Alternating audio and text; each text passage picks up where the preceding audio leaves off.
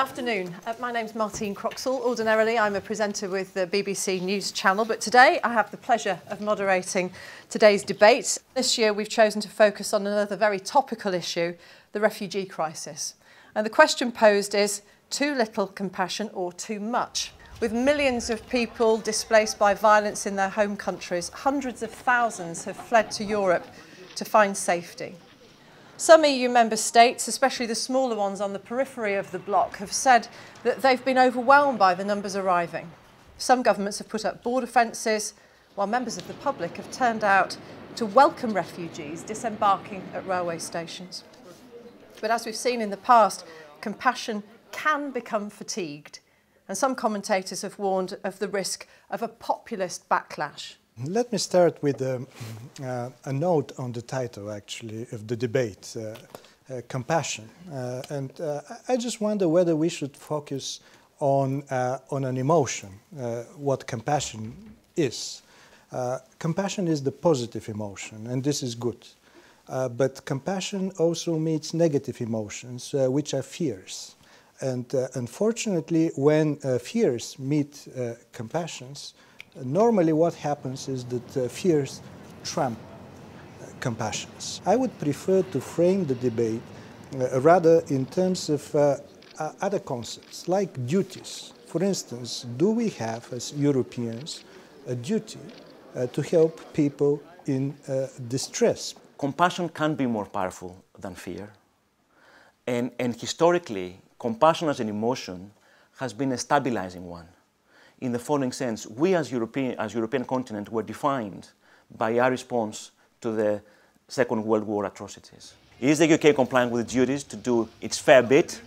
And I say no, because the numbers are, are, are, too low given the capacity of the, of the UK. And if you, if you see this in the light of the broader views of, on immigration of the government, then I, I wouldn't say just there's little compassion, I'd say there's no compassion.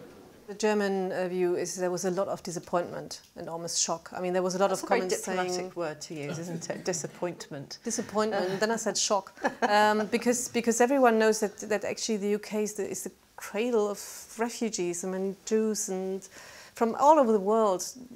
Britain has a strong tradition of taking in people that are trying to escape uh, suffering somewhere else in the world. So, and then there was this strong feeling that this is very much driven by domestic interests, and it's it's driven by an upcoming referendum on the European Union membership. Is it so difficult actually to come up with the, the following policies? Uh, coordinated and common, uh, uh well, uh, uh, kind of defense and protection of the external borders of, of the Union. Well, that's what so the efforts how, are being how, made to how, try to do that. How, how difficult is, is very that? difficult. Very difficult. That, that so to achieve. Well, uh, and why why oh. is it so so difficult? Actually, all these countries they have. Uh, I think most of them they have sufficient capacities. Uh, some of them they need help uh, here and there. So again, it, it, it, it's a matter of uh, coordination and political will. We have Ireland, we have Sweden, we have Austria, who are traditionally neutral countries very different to France, United Kingdom, of course, two seats on the on the permanent, permanent seats on the Security Council. Very different approach. So if we have a common defence, common security approach, you're actually challenging the neutrality of those three member states. There has to be a global approach. Of course there does. And there has to be a global approach to actually sorting out the problems within Syria, within uh, Iraq, you know, within the Middle East, dealing with radicalisation and fund fundamentalism and actually allowing people to want to return to their home countries.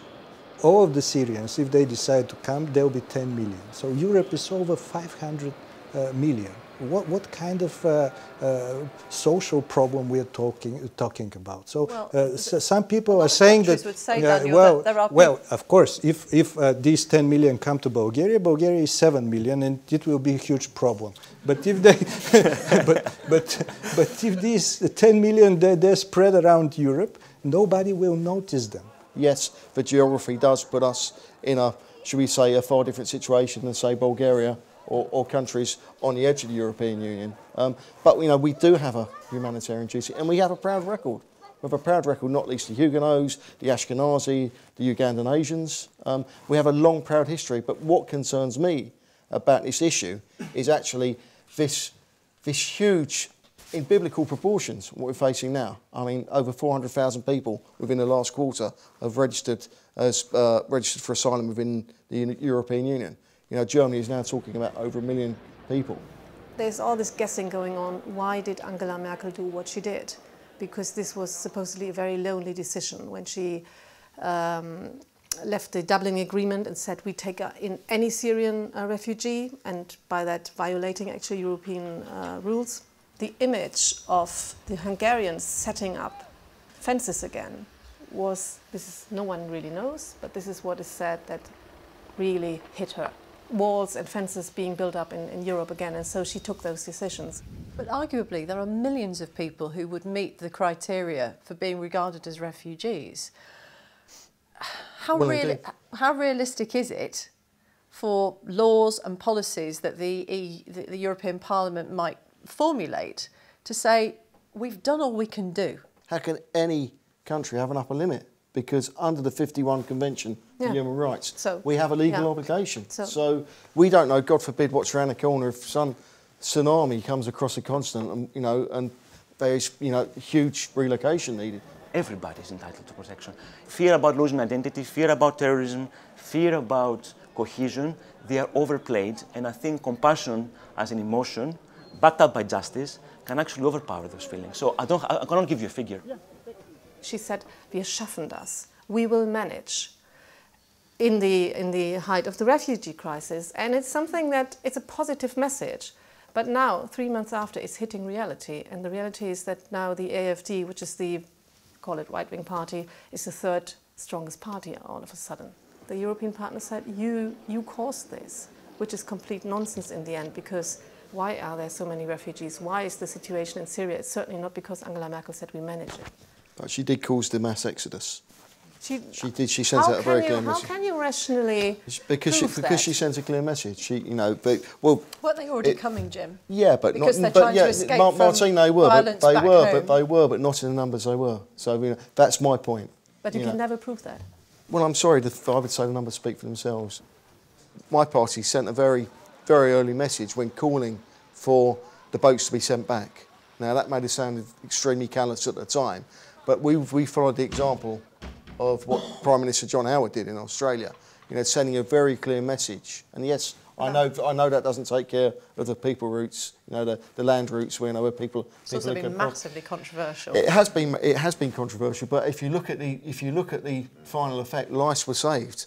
And, you know, and, and the smugglers realised that they, their assets were being seized, they were losing their boats, and so consequently, yeah, they were at an advantage because there wasn't the land route that there is. But it sent a very, yeah. it sent a very clear clear message. This is controversial, and the idea that we uh, are going to send a message to the criminal organization by using people on a boat at mid-sea as a means to send a message, that to me, that to me seems very, very wrong.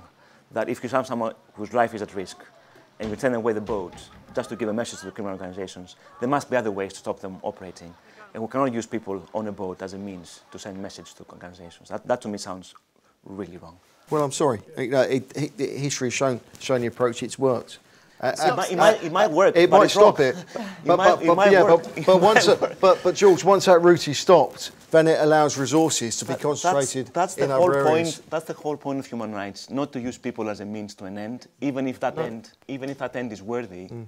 We can't. We have to treat them with dignity, person by yes, person, we do. person by person. We do, and we, we do. no, we, we, we, we do. But if I want to take but two if, those if, those, if those boats had been stopped, you know, Alan Kurdi wouldn't have drowned in the sea, quite frankly. If a message had been sent and the people who were using, the, using those vehicles, under, you know, if word got back to them that there was a chance that that boat would be stopped and turned around, they wouldn't be spending the money in the first place. What I'm concerned about is, is a large number of single young males who are coming in. And, and, Why and does that trouble you? Because I feel what are they? What are some of them escaping from? You know, we've, we've heard what Islamic states have been saying with regards, saying they will use the, the refugee crisis, the migrant crisis, as a vehicle to export jihad to the continent of Europe. Regrettably, well, haven't, we got, haven't we got our, our but, own but, homegrown? Yes, we have. But regrettably, the tragedy in Paris has, I think, possibly changed uh, President Hollande's approach to how he looks. But they weren't Syrian, were no, they? but they were but, from but, Europe. But if you look at it, going back to the political response, what, what all of us have been saying here, that we've seen the response with, uh, with, with uh, Front National, you know, what has happened in last weeks. So she is now trying to somehow convince Germans that we, they will find, the government will find a way to stop the influx of refugees. So actually in the last weeks you've seen quite sharp measures. For example, there's been, um, they've announced that um, there will no be any more family reunification, um, that everyone has to register. So um, this is what is what is happening now because she she she also looks at the at the polls and the polls clearly show that she uh, she is slumped. I mean, she was at almost 80% a year ago, and now she's less than 50%. I think that in substance, this was the right policy. Well, as the leader of the most uh, uh, powerful and resourceful European country, well, she said, we're going to take the, the biggest burden. Uh, and, and this was a good act of leadership.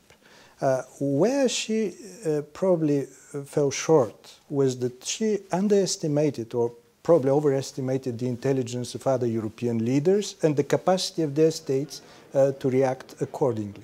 A lot of the decision depends on how governments want to please their voters and what will happen in the next election. So a decision that won't go down very well with the public is not very likely. Mm. So if, if people are worried about immigration and are worried about refugees and are worried about this and that, then the government will have incentives not to uh, show compassion.